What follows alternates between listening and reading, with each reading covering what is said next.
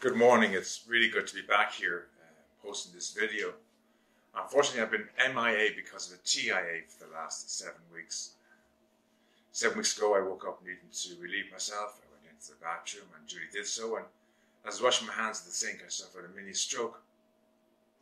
Totally unexpected. I didn't think I was in any ill health, but I suffered a mini stroke and it shocked me completely. I went to the hospital and after about two hours, it, it cleared, but it changes had been made in my life, in my lifestyle. But part of this was not doing any work for the last number of weeks. I'm only getting back into the swing of things today, and this is my first video. So apologies for not posting for the last seven weeks. Today, let's talk about having that mini stroke. I came to realize that there's more important things to living is to live today and not to be concerned about the past or the future. I can make plans for the future, but I may change those plans, or as I experienced seven weeks ago, I may not wake up to see those plans. So I can make plans for the future, but then I have to let the future go. I've got to really concentrate on being alive today. Throughout my videos, on my blogs, on my website, I speak about the fact that we're spiritual and mortal beings in these mental, mortal, physical bodies. We have 24 hours to live, and only 24 hours. These 24 hours right now. I can't change what happened yesterday, or last week, or seven weeks ago, or in my childhood. I can't change any of that. My life is about living today for these 24 hours. I got so caught up in my work and in my therapy and in my uh, programs of recovery and working with clients and improving my spiritual wellness that I've been kind of neglecting my family.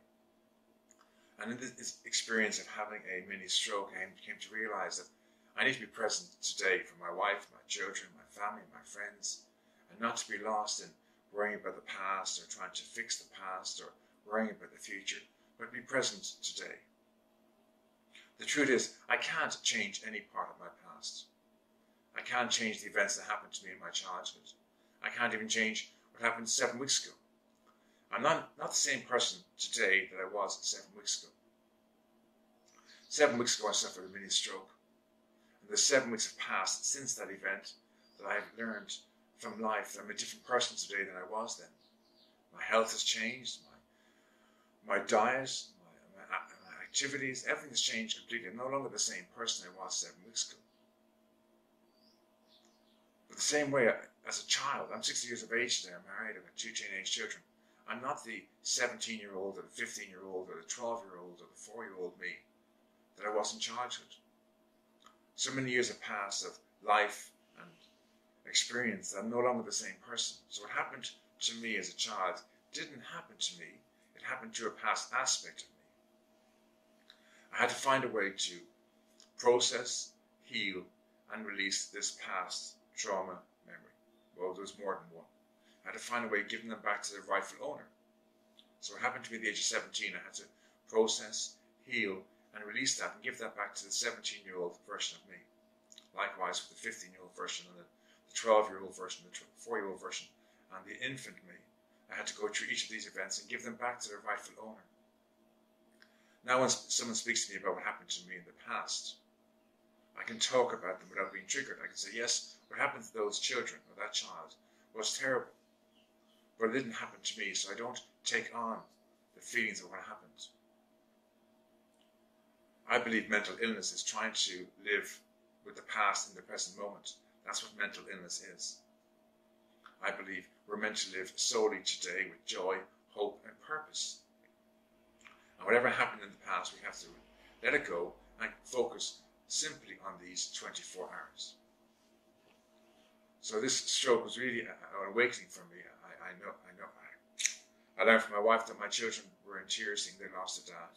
And it changed my perspective of my life. I'm so busy with my therapy and with my spiritual practice and with my working and studying my blogs and my videos and whatever. I'm, I'm in my office maybe eight hours a day. But my wife and my children don't see me from dawn to dusk. I, I provide for them. I, am here as a, parent, as a present in the home, but I'm not, I'm not present I had to find a way to let go of the past, set aside the future, and to be present in the moment, present living today. And that's where That's my battle today is to be present today.